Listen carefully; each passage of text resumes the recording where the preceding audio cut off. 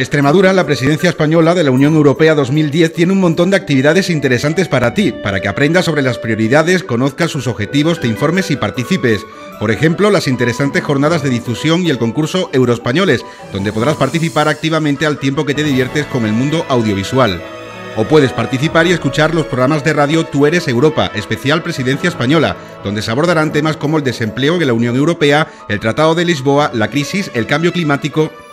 y también puedes seguir la campaña por el canal de televisión en Internet Somos Europa, con entrevistas y reportajes sobre las prioridades. Hay un montón de actividades, todas interesantes.